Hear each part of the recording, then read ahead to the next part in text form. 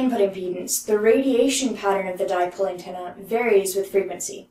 Or, more informatively, it varies with electrical length. So again, I'll give you the equations and then we'll look at some illustrative plots. So here is the equation for the directivity of a dipole antenna. Note that the directivity depends on theta, the angle from the z-axis, but not on phi. That's because the directivity of a dipole is symmetric about the z-axis, so the phi value doesn't matter. In this equation, f of theta is given by this equation, and q is given here. Note that, like input impedance, the equations for directivity depend on the electrical length, KL, not on the physical length, L. Again, you can write these equations into a program to calculate the directivity for any arbitrary electrical length and theta value, and I do recommend that you go ahead and do that to help develop a feel for what these equations describe. We'll also take a look at some plots of directivity at various electrical lengths.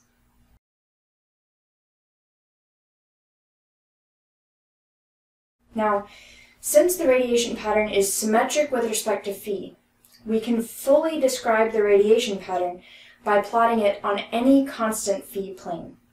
So for instance, this is a plot of the radiation pattern of the half-wave dipole on the plane phi equals zero. Since you know that this will look exactly the same no matter what value of phi you choose, this tells you the entire radiation pattern.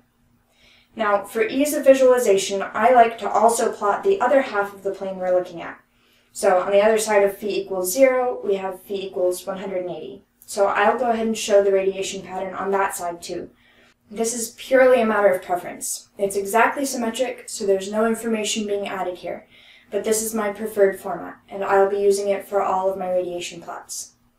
Here is the directivity of the dipole antenna plotted as the frequency increases from one-fifth of the design frequency up to 10 times the design frequency as the length of the antenna goes from one-tenth to five wavelengths.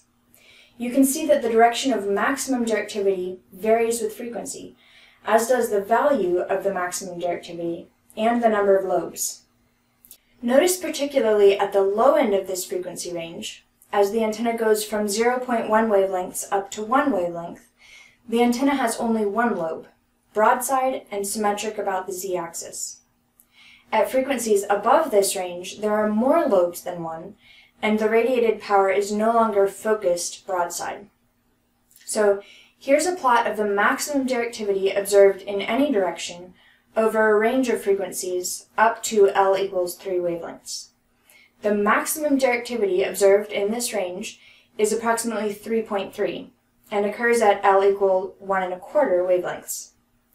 Now, you might be tempted to think that this means the antenna is working optimally at this frequency, but I want to make clear that this is not necessarily true, even if your intent is to radiate a focused broadside signal. Let me point out two other factors that must be taken into consideration.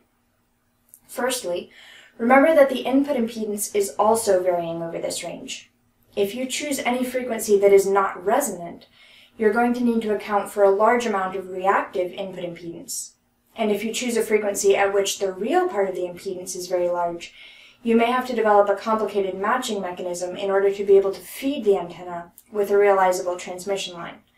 So input impedance is a critical consideration when evaluating various antenna designs. Even assuming that you're able to achieve a perfect impedance match, you must remember that directivity is a measure of how well an antenna focuses its radiated power in a particular direction, to the exclusion of other directions. It does not give you a complete picture of how well an antenna converts input power into radiation in a particular direction, because it ignores antenna losses.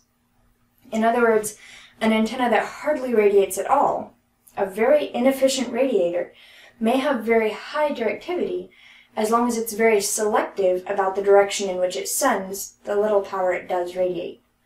By contrast, an antenna with lower directivity, though it sends more power in the wrong directions too, may also result in a higher signal strength in the desired direction, as the result of its better efficiency.